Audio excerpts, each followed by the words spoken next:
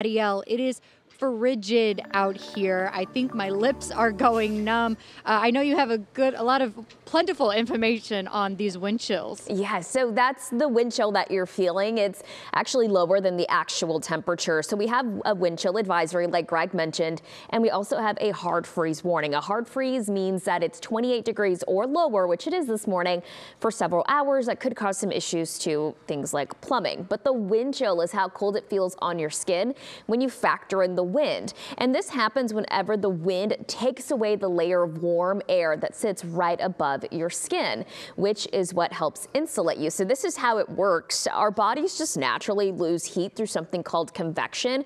And when that happens, we see that this layer of heat kind of just sits above your skin. So whenever there's no wind, a temperature of 20 degrees will actually, well, feel like 20 degrees. But then whenever the wind comes into play, it's going to take that warm layer layer of air that sits right above your skin that normally keeps you warm and it is going to whisk it away. And when that happens, it allows the temperature in your body to drop a little bit faster. So like we've been mentioning, if you do have to go outside, consider the wind chill. By the way, pets also feel the wind chill. One way you can combat this is by layering up and making sure you cover up any exposed skin so that the heat stays trapped close to your body and you stay warmer.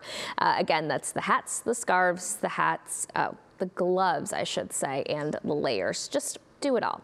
Multiple hats. Multiple hats. Back to you.